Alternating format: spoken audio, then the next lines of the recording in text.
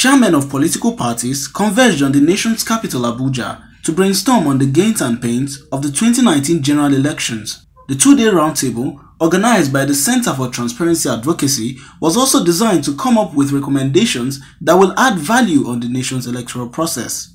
Speakers after speakers in their remarks eulogized the Independent National Electoral Commission for putting up a show that met the expectations of Nigerians. INEC as the umpire of the general elections proved quite independent in the way and manner it responded to the unexpected challenges thrown its way by stakeholders in the process and other unforeseen circumstances during the last general election. When you ask a particular group not to participate, not to have candidates, and then you go back to field elections, you can imagine the, the type of decision, the magnitude of, the weight of decision that the INEC chairman had to.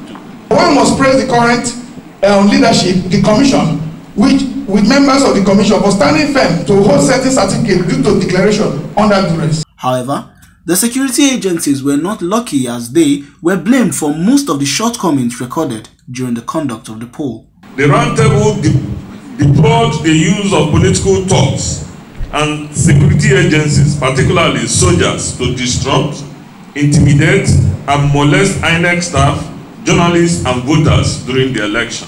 The presence of former Vice President of Sierra Leone, Alhaji Sam Sumana, added spice to the occasion as he called for more selfless service from the African political class.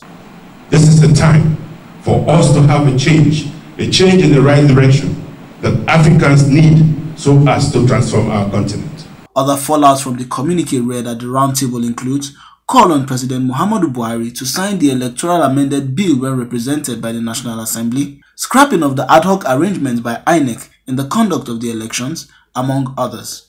CNN News